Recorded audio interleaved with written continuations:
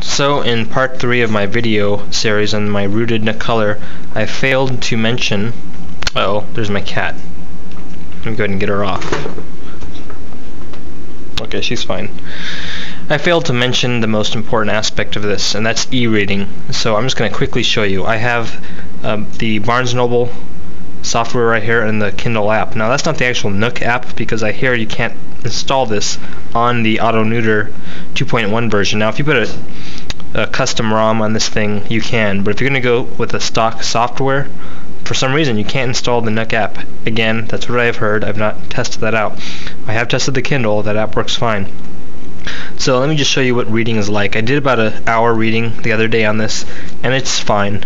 Um, the LCD screen does not bother you. Battery life is more than enough. If you're a hardcore reader, definitely get the Kindle with the or the original Nook with the e-ink. That probably would be a lot more suitable for you. You're not going to want to take this outside, I'm sure, but sitting inside indoors, light reading for hour, a couple hours, maybe more, you'll be fine.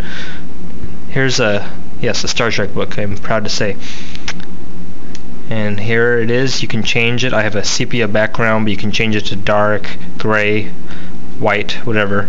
It works very well. And if you want to check out the Kindle and look at my cat is back up here. Anyways.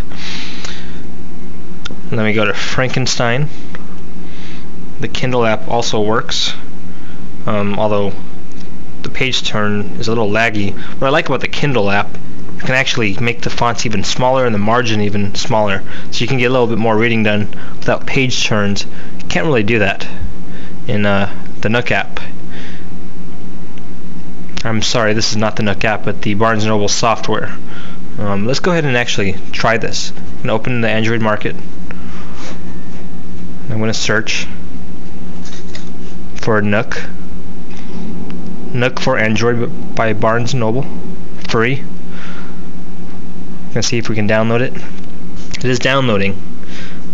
That's what it looks like for future reference. And we're gonna find out truly if this works.